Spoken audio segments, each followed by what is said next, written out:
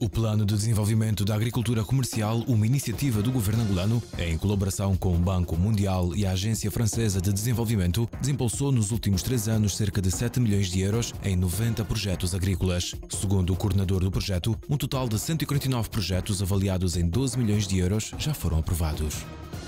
O volume de negócios entre Angola e Indonésia subiu de 1,5 mil milhões para 1,6 mil milhões de dólares nos últimos cinco anos, informou ontem, em Luanda, o embaixador indonésio no país. Segundo o diplomata, à margem do Fórum de Negócios entre os dois países, no período em análise, Angola exportou para a Indonésia, além de produtos agrícolas, essencialmente petróleo.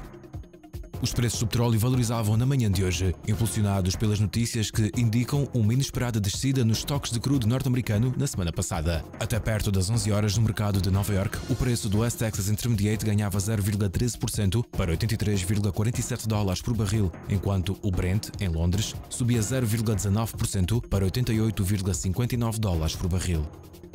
No mercado internacional, a gasolina era comercializada ao preço de 0,78 dólares por litro, enquanto o gasóleo custava 0,73 dólares por litro no início da sessão de hoje. Os principais índices bolsistas europeus iniciaram a sessão do dia a subir. O Eurostock 600, índice de referência da região, avançava 0,197% para 508,79 pontos. Noutros mercados do continente, os índices também apresentavam tendências positivas, com realce para o alemão DAX, que valorizava 0,407%, e o FTSE 100 do Reino Unido, que subia 0,447%.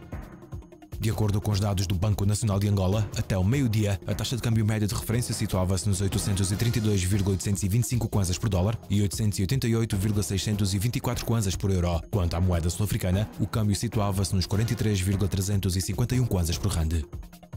O preço unitário de festa das ações do Banco Angolano de Investimentos BAI na sessão de hoje foi de 52.500 kwanzas, com uma variação positiva face ao dia anterior. Não houve variação no preço das ações do Banco Caixa Geral Angola, sendo que a cotação de fecho fixou-se em 20 mil kwanzas.